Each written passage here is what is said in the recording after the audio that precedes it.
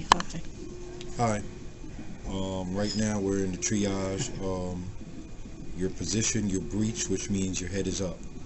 Currently, um, getting the, your heartbeat because you know, mom is a little big, big, so you gotta sometimes stand there and hold it. And I don't know if you can see it, but maybe she can swing it around to the machine, and you might be able to see the numbers and your little heartbeat moving.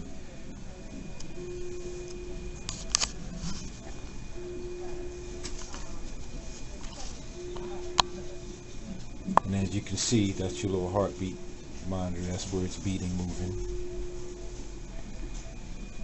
There's mama. and as you can see, I got you all hooked up there. And we're just uh, doing it, and that's about it. So this is the deal. And on today's date, is the 19th this is the 19th of, May. And that's it. Oh. Look at that.